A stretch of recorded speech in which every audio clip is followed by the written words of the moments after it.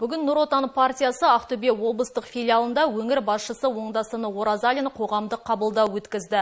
Қала тұрғыны Меруеш Оразғалиева мен Әлима Әбдірова жеке бастың емес Тургенев көшесі тұрғындарының өтінішін жеткізді. Олар көп қабатты тұрғын үйдің ауласына ретке келтіріп балаларға ойын алаңын салуды абаттандыруды сұраған. Мәселе көп күттірмей шешіледі. Аймақ басшысы қала әкімі Мавр Абдулинге уақыт созбай тұрғындардың өтінішін орындауды тапсырды. Ал жетім өсіп өзі де балаларын жалғыз тәрбиелеп отырған Әсемгүл Ибраимова баспана сұрады.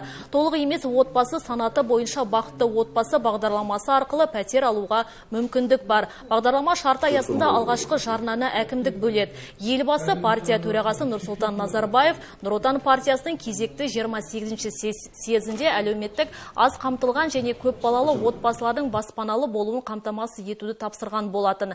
Әлеуметтік аз қамтылған азаматтарды қолдау мақсатында нұрлы жер бағдарламасы аясында бақытты отбасы атты жаңа бір бағыт жүзеге асып келеді. Өңірде осы жоба аясында көптеген отбасы баспаналы болуда деп атап өтті облыс әкімі.